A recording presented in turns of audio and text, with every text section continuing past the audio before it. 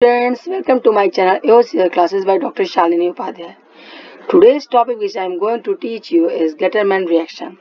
So let's start today's topic Getterman reaction. What is the Getterman reaction? The Getterman reaction, also known as Getterman's salicylaldehyde synthesis, is a chemical reaction in which aromatic compounds are formulated by hydrogen cyanide (HCN) in the presence of a Friedel-Crafts catalyst AlCl3 means aluminum chloride. It is named for the German chemist Ludwig Getterman and is similar to the Friedel-Crafts reaction. Friedel-Crafts reaction आप समझ रहे होंगे दो तरह के होते हैं two types Friedel-Crafts alkylation and Friedel-Crafts acylation. तो उसी टाइप का इसमें भी एडिशन है, इसमें जो कैटलिस्ट लेते हैं, वो आपका ए थ्री जो फ्लोरोक्राफ्ट में भी यूज़ होता है। तो आज हम इसको डिस्कस करते हैं गटरमैन रिएक्शन को। जो ओवरऑल रिएक्शन है, वो आपका ये है, ठीक है? फिर हम इसकी मैकेनिज्म डिस्कस करेंगे। ये आपका एरोमेटिक कंपाउंड है मीन्स बेंजीन है, ठीक है? ये आपका एस है, जो फॉर्मुलेटेड है। ठीक है? और किसके प्रेजेंस में हो रहा है? एल सी एल थ्री के। तो ये आपका इससे फिर प्रोडक्ट बनता है इन दोनों के साथ दिस वन और देन वाटर के रिएक्शन के साथ N H four C L remove होता है। और ये आपका फाइनली क्या बन गया? सेरिसलर डिहाइड तो अब इसको हम डिटेल में पढ़ते हैं। तो जो स्टेप वन है, इसके मैकेनिज्म में जो स्टेप वन है, वो है formation of for iminochloride for iminochloride कैसे बनता है आपका?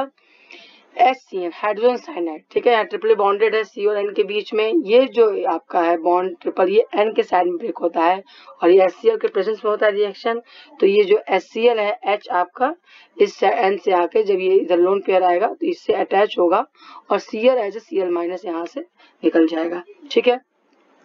और जब ये बॉन्ड इस साइड ब्रेक हो रहा है तो कार्बन पे क्या आ जाएगा? पॉजिटिव चार्ज आ जाएगा। तो ये जो कार्बन पॉजिटिव चार्ज है और सी एल माइनस के रूप में जो निकला है, वो अटैक कर देगा और ये कार्बन पे आके अटैच हो जाएगा। तो ये जो कंपाउंड बना फाइनली आपका, इसको क्या कहते हैं? इसको कहते हैं फॉर्म इम्यूनोक्लोराइड ये है फॉर्म इम्यूनोक्लोराइड जो कि आपका स्टार्टिंग मटेरियल है। ठीक है? स्टेप टू जो है, वो क्या है? फॉर्मेशन ऑफ़ इलेक्ट्रोफाइल इलेक्ट्रोफाइल का बनना, ठीक है? यह आपका बन गया फॉर्म इम्यूनोक्लोराइड थ्री के प्रेजेंस में रिएक्शन होता हमने बताया था। थ्री क्या है आपका? लुइस एसिड कैटलिस्ट है, ठीक है? ये Cl पे आपको पता है थ्री लोन पेयर्स हैं।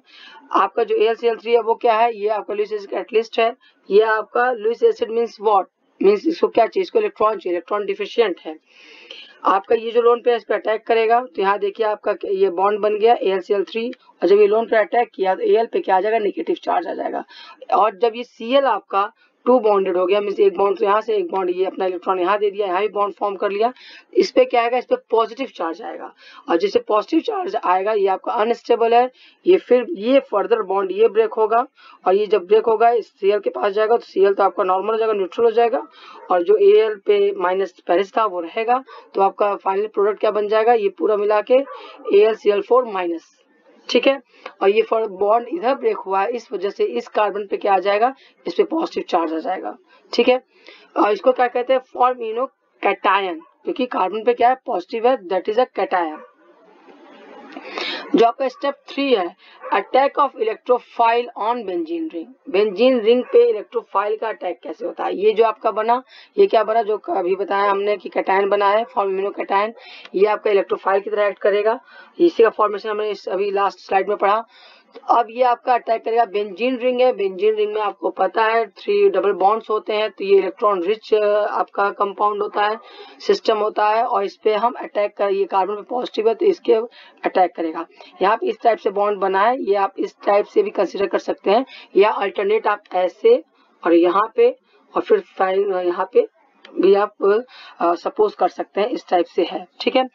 तो जब इसका इस पे अटैक होता है तो ये जब अटैक होगा तो जो भी बॉन्ड होगा, वो किस साइड ब्रेक होगा? क्योंकि कार्बो कैटायन है, ठीक है? तो कैटायन है तो इस साइड ही ब्रेक होगा। इस साइड ब्रेक होगा तो उस पर क्या आ जाएगा? निगेटिव आएगा। उस निगेटिव पे कार्बन क्या करेगा? अटैक करेगा।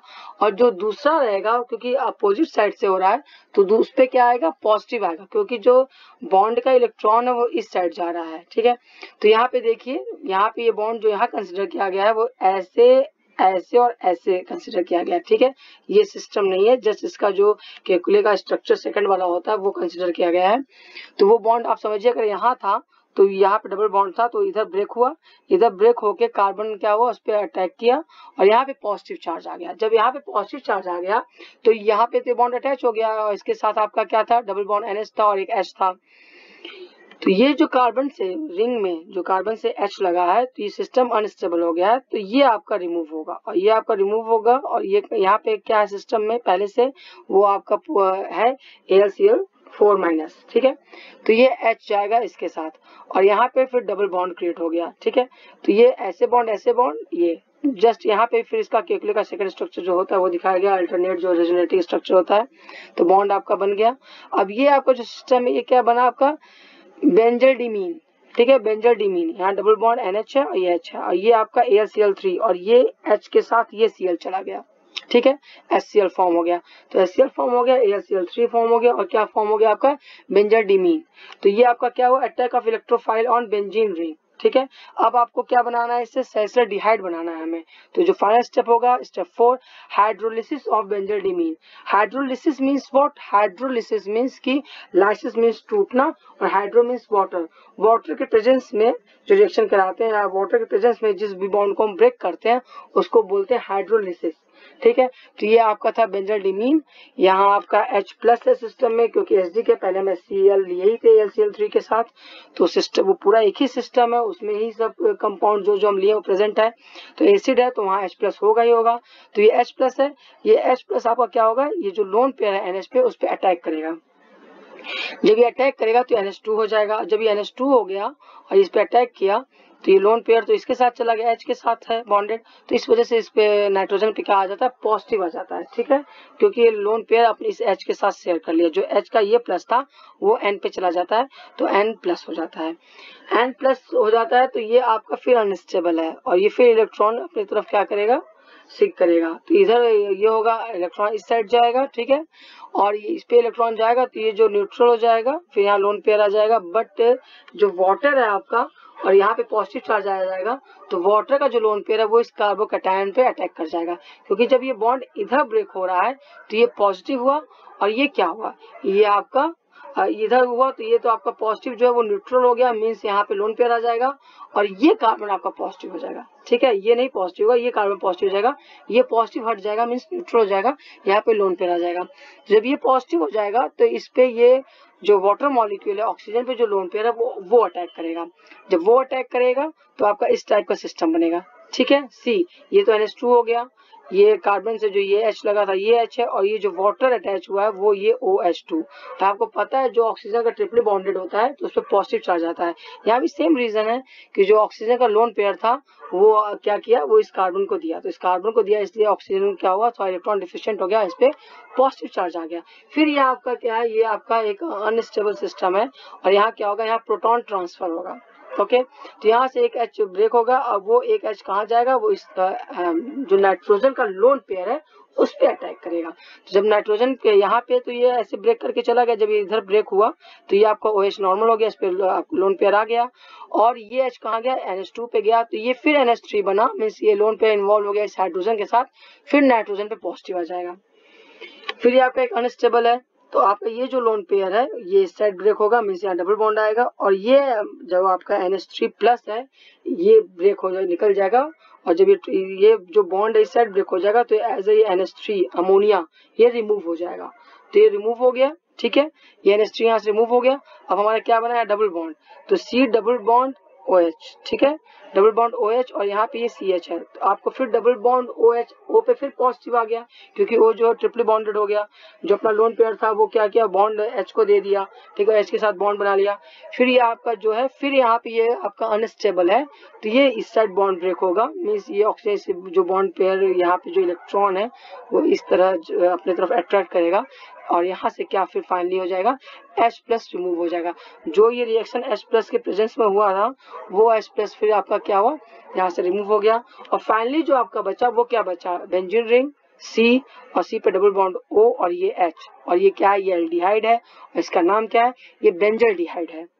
तो आई थिंक आपको ये पूरा गटर रिएक्शन समझ में आ गया होगा। पूरा स्टेप वाइज मैंने बताया। अगर आपको कोई भी क्वेरी हो, आप कमेंट सेक्शन में पूछ सकते हैं।